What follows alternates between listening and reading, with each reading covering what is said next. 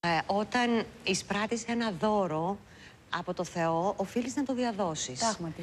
Και εγώ λοιπόν ήθελα να διαδώσω αυτό το οποίο συνέβη σε μένα ε, και ε, για αυτούς τους λόγους είμαι εδώ σήμερα. Εγώ ξεκίνησα να πονάω ένα μεσημέρι στο γραφείο μου. Να πονάω Σεπτέμβριο αυτά γίνονται. Το Σεπτέμβριο. Να. Λοιπόν, νόμιζα ότι είναι κάτι απλό.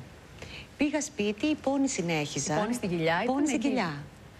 Ε, ένας πόνος ο οποίος ήταν γνώριμος και για πολλές γυναίκες είναι γνώριμος πόνος.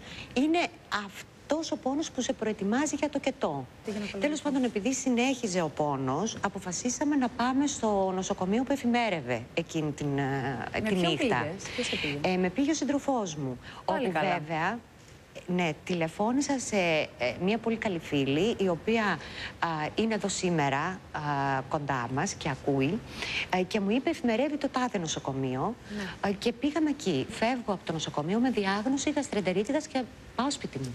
Τηλεφωνώ στον παθολόγο μου και του λέω Γιώργο αυτό και αυτό. Μου λέει Νανά πρέπει να έρθεις στο νοσοκομείο να σε δω οπωσδήποτε.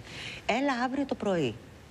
Α, Βίκυ, δεν προλάβαμε το επόμενο πρωί, γιατί εγώ μετά από λίγες ώρες πήγα στο νοσοκομείο, με πήγε ο συντροφός μου, όπου ε, αρχίζαν να γίνονται όλες οι εξετάσεις, Ξανά την αρχή εξετάσεις; ξανά από την αρχή εξετάσεις. Α, η πόνη ήταν φρικτή. Στο ξημέρωμα της μέρας έρχεται ο γιατρός μου και εκεί βλέπω ότι πια μετράμε αντίστροφα. Διότι με το που βλέπει τις εξετάσεις ε, καταλαβαίνω ότι είναι πάρα πολύ σοβαρό. Και ακούω ένα όνομα να λέει Μόνον φέρτε μου το Γιάννη το Σαριτζόγλου. Ε, Βίκυ μου είχα πάθει ρήξη εντέρου. Ο, ο γιατρός μου, ο οποίος μετά είναι ο άγγελός μου και άγγελος πολλών ανθρώπων, α, με παρέλαβε με συψεμία και γάγκρενα. Καλά, έχω ανατριχιάσει τώρα. Έχεις περάσει όλα αυτά. Δεν Ήτανε- είχα ιδέα, Νανά, δεν είχα ιδέα. Σου μιλάω ειλικρινά. Μα να σου πω κάτι, είναι τόσο, τόσο απλό το πώς θα μπορείς να περάσεις τη γραμμή. Κινδύνευσε η ζωή σου, όντως, τη διάρκεια του Βεβαίως, χειρουργείου. σαφέστατα. Όταν εγώ αρχίζω και συνέρχομαι και φεύγει η θολούρα από την άρκωση, δεν βλέπω τίποτα γύρω μου, αλλά είναι τόσο διαπεραστικά τα μάτια του γιατρού που βλέπω το βλέμμα του. Εγώ αυτό το βλέμμα δεν πρόκειται να το ξεχάσω ποτέ. Είχα μία τετράδα ανθρώπων, ξεκινώντας από το 1 μέχρι το 4, Ναι. Αλλά τον άνθρωπο που είχα βάλει πρώτο, Ναι. ε, με κάποιο τρόπο με, έκανε- με, με έχει πείσει ότι δεν πρέπει να είναι αυτός. Ότι δεν είναι αυτός. Ναι. Άρα δεν συζητάμε γι' αυτόν.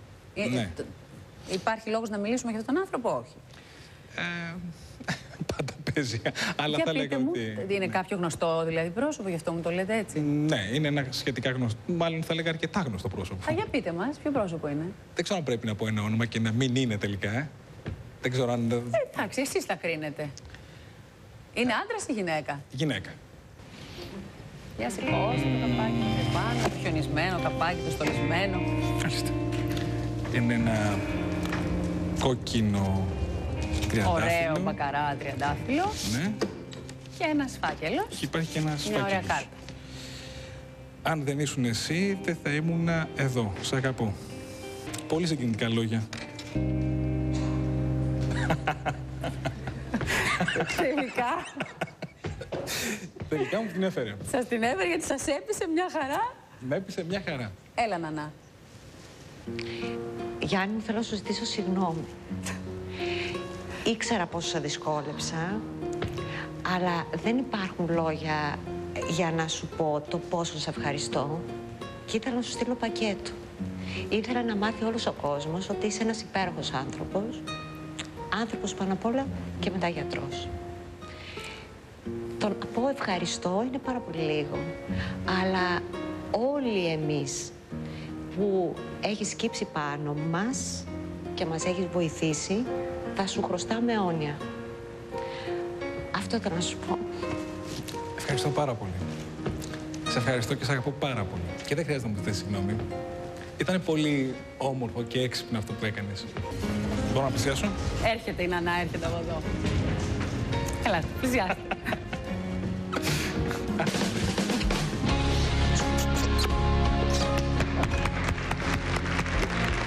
Να πω πάρα πολύ. Μου την έφερε.